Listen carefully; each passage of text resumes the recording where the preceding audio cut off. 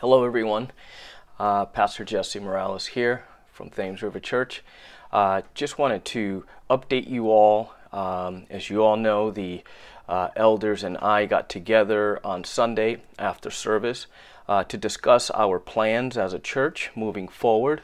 Uh, now that the uh, the state is giving us guidelines as far as reopening, and so I wanted to read a, a couple of scriptures uh, to you uh, just so that you can understand that uh, we did not take this lightly. Uh, we have really been uh, praying and really uh, thinking about this, trying to figure out what was the best way for us as a church and making sure that we're doing everything that we can to keep you safe and to keep you uh, feeling uh, comfortable when we do come together. Uh, so I wanted to read some scriptures to you. So let me start with that, and then I'll go ahead and uh, lay out the, the plans that we have uh, for Thames River Church. So I want to read out of uh, Ecclesiastes 3, verses 1 through 14, and it says, There is a time for everything, a season for every activity under the, under the heavens, a time to be born and a time to die, a time to plant and a time to uproot, a time to kill and a time to heal, a time to tear down and a time to build, a time to weep and a time to laugh, a time to mourn and a time to dance, a time to scatter stones and a time to gather them, a time to embrace and a time to refrain, refrain from embracing, a time to, re, to, to search and a time to give up, a time to keep and a time to throw away, a time to tear and a time to mend, a time to be silent and a time to speak, a time to love and a time to hate, a time for war and a time for peace. And then I'll finish uh, the rest of this, uh, the scripture here, because I think it, it, it brings context to uh, what we're doing as a church. It says, What do workers gain for their toil? I have been the burden, I have seen the burden God has laid on, on the human race. He has made everything beautiful in His time. He has also sent, set eternity in the heart, human heart. Yet, no one can fathom what God has done from beginning to end. I know that there is nothing better for people than to be happy and to be and, and to do good while they live, that each of them may eat and drink and find satisfaction in all their toil. This is the gift of God. I know that everything God does will endure forever. Nothing can be added to it and nothing taken from it. God does it so that people will fear him. And so I, I felt that that was fitting as we talk about what the Lord uh, has for us as a church. And I, I, I, felt that it was fitting because uh, it says here that that that God makes everything beautiful in His time. And so uh, the elders and I felt that this was the perfect time uh, for us to move forward as a church um, as we uh, prepare uh, to reopen our, uh, our gathering. I also want you to uh, find comfort in knowing that uh, we also believe, as the elders, we also believe that there's wisdom in counsel.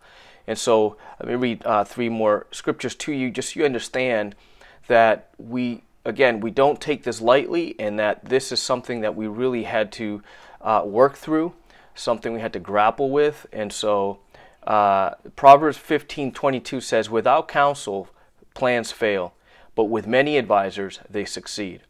Proverbs 11:14 says, "Where there is no guidance, a people falls, but in the abundance of counselors, there is safety." And then finally, Proverbs 24:6 it says, "For by wise guidance you can wage your war, and in abundance of counselors there is victory." So we believe that as we came together as elders and as we uh, sought to sought the Lord first of all, and sought the Lord to find out how we can serve you as a congregation and how we can set things in place uh, for you to feel safe and uh, for you to be able to come and meet at the church. Uh, these are the things that uh, we decided to do. I know many of you are, are, are asking, so when is the day? When is the big day? When is the big day that we're going to come together? Well, we want to welcome you back home on Sunday, June 7th, uh, 2020, uh, starting at 10 a.m. Now, that, that day is going to look uh, a little different than uh, before uh, we closed the building. But the reasons why they're going, it's going to look different is for your uh, your safety, and so we were looking out for you. And so, let me just go over that with you quickly. So the first thing is that when you enter uh, the building, uh, you will have ushers uh, at the door, and they will be taking everyone's temperature. We want to make sure that as you enter into the building, if there's anyone coming in or wanting to come in that may uh, have a temperature, uh, we're going to uh, very politely ask them uh, not to enter the building for the safety of everyone else. Uh, we will also have uh, an usher assist everyone and, and assist families to, to or, or, with seating. we're going to have um, in the sanctuary, the seating is going to look different than it, it had t- than it looked two months ago. Uh, chairs will be spaced at least six feet apart with designated areas for families. And so we're going to have families sitting together, and those who come in uh, as individuals by themselves will have an area for them to sit. Um, also, while we're in the sanctuary, um, we, we're going to uh, add some seating downstairs in the multi-purpose room uh, for the purpose of practicing social distancing. So right now the number is 50 people or less and so uh, I know and the elders, uh, both the elders and I agreed that uh, there are going to be some of you who still don't feel uh, comfortable by uh, in, in, coming to the church, and, and we're perfectly we're fine with that. We understand that. Um, as far as greeting, you know, that's one of the uh, great things of our church is that we love to greet one another. And so, what I, uh, what we're asking is, and what what I'm going to ask of you to do for me, um, so that I don't uh, lose any more of my hair. Just kidding. um, is that we uh, abstain from hugging and shaking hands uh, but you know, I'm going to encourage you, highly encourage you to wave at one another. Uh, we still want to greet one another, uh, but we want to maintain that social distancing until we know that it's safe to uh, start to uh, greet one another with hugs and handshakes once again.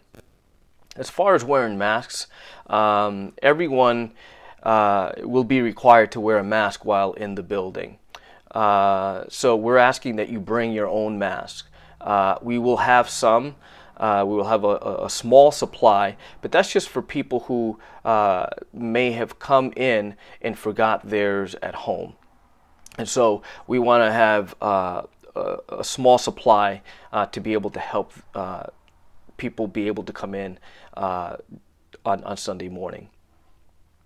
The other thing I want to add there with the mask is is is that while the preacher is preaching, he will not be wearing a mask, so we will make sure that uh, there is uh, plenty of distance between the, sp the speaker and the front rows. Uh, also, we will have uh, the worship team practice social distancing while they're leading us in worship. And so, um, again, uh, I can't stress this enough. We want to make sure that everyone is safe, so we're asking that everyone would wear a mask. Now, as far as nursery and children's church, uh, there will be no nursery or children's church programs during the service since it's impossible for us to uh, practice social distancing with, with the children. And so we're because of that, we're asking that families with children uh, keep their children with them at all times. We want to make sure that um, uh, that that you know the children are also part of the service, so they will be staying with uh, the families upstairs during uh, worship, and so we're asking for your help as families with children to to keep your to, to keep your children with you so that we can all feel uh, safe. Bathrooms. Bathrooms is a big thing that uh, we as the elders we kind of try to figure out how this was going to work, and so we think that this is uh, uh, something that we, we need to do. Uh, so the uh, downstairs bathroom, uh, we we're asking that no more than two people at a time uh, in the men's room and in the women's room, best restrooms. So no more than two people at a time in the men's room and in the ladies' rooms. The upstairs bathrooms, we want to reserve those for uh, the handicapped and families with children. So unless unless unless you're handicapped or a fa- uh, uh, uh, taking your child to the bathroom, let me let me just specify there. So if my, myself, for example, I have children, but if I'm going to use the bathroom, I will use the one downstairs. If if it's just me, if I'm uh, if, if, if I'm if I'm taking my son or you know, or uh, then then I would use the up uh, the upstairs bathroom. So downstairs if it's for you, upstairs if it's for you uh, to assist your child. And so we want to make sure that everybody is safe. Exiting the building. Uh, so as you saw, um, when you come in, you uh, will have to have your temperature taken. Um, we will assist you with seating. And so then as you exit uh, the building, oh, as you exit the building, uh, we will also assist you. And the way we're going to do that is um, we're going to, uh, after the service, we will have, we will dismiss people uh, by rows uh, with the assistance of, of an usher. Um, and so we're asking that everyone please who wishes to uh, come to to, to service on, on an in-person uh, uh, to, to come and worship, that you abide by these rules. This is going to keep you safe and it's going to keep the rest of us safe.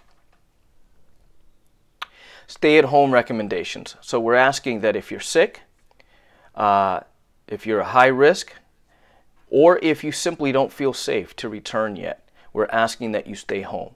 And for those of you who may not be sick or are, or or at our or, or are at uh, high risk, but you just simply don't feel safe to return yet, we want you to stay home, and I, we don't want you to feel uh, judged uh, because we're not here to judge anyone.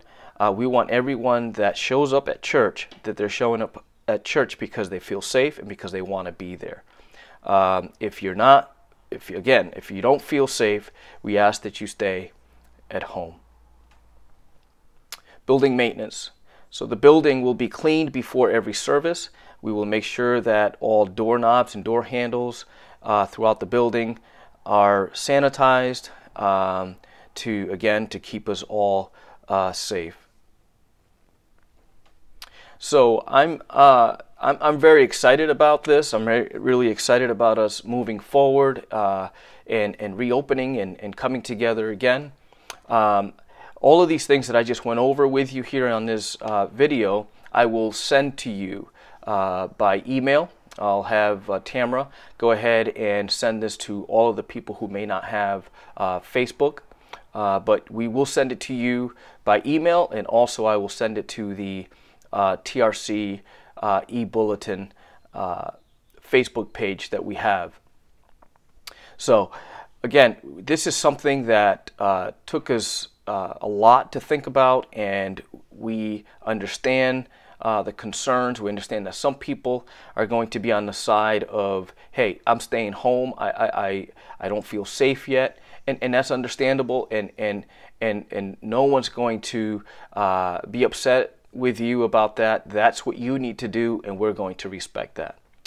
I also want to speak about the people who are ready to be there, who want to be there on the 7th, on June 7th. And uh, I want us to understand that there are those who, who will say, yes, I'm going to be there. And uh, so uh, for those people, uh, you're not going to be judged either for wanting to be at the church on the 7th. And for those who don't feel safe yet, you're not going to be judged for not wanting to be there yet. We want to respect both sides of the spectrum. There's there's there's always been two different uh, uh, schools of thought, and so we want to respect both of those. We don't want to be a stumbling block for any of our brothers and sisters, but we want to be of encouragement and we want to lift each other up. Uh, we want to instill uh, hope. We want to instill safety. We want to instill confidence in every one of our brothers and sisters. And so uh, that's what we will be doing. And uh, we're excited about what God is, is doing. And um, what he will continue to do. So now for Sunday service live streaming, all Sunday services will continue uh, to uh, be live streamed on Facebook. Um, I hope that you've enjoyed the live streaming, and uh, we're uh, constantly working to improve that for you. Uh, and we want to give you the best quality that we can possibly give you. Uh, we will also be uploading to our YouTube channel the service that is live streamed on Facebook. Now, uh, the YouTube channel is something that I'm managing, and so it, it may take a day or two uh, before uh, it's loaded up. But just be just bear with us. Try to be patient with us. We're trying to do everything that we can to serve you. Um, and uh, uh, but I'm just uh, thankful that we're able to do this. And so, uh, with your help and your prayers, which is the greatest help that you can uh, give us, is to pray for us as a church, pray for us as uh, as leaders, pray for your leaders, and continue to lift us up before the Lord. the Lord will give us more more wisdom as we move forward. Uh, one last thing I do want to mention is that the elders and I, we talked about in the case that uh, we find out that someone uh, tested positive for uh, COVID-19 during this, after the reopening, uh, we're prepared to shut down for two weeks uh, if that were the case. we don't want we we don't want to leave anything open to chance. We want to make sure that we have uh, covered every area and that we've done everything we could possibly humanly do uh, to keep you safe and to keep everyone safe. So, um, again, pray for us. We need your prayers. We love you. We care for you. And uh, I'm excited. And I hope that you are excited too. Like I said, I will send this out to everyone. I'm still working on a few other things, and so I want to send it all together as a package. Uh, so spread the word out there. Um, I recorded this not live, but I, rec- I pre recorded this for the purpose of making sure that I only send it to you for now. Uh, I just want to send it to the church uh, members first, and then we'll let the public know. Uh, wh- one other thing, and, and I'll end with this, is that we are, are, are excited to, to, to, to, to, to share with you that when we live stream our services, many people have been watching. We've been able to reach many people, people that, uh, to be honest with you, I've checked to see if they were connected to the church somehow, and I didn't see uh, that they were connected to anyone in the church. Uh, but there were all the there there are others that were connected.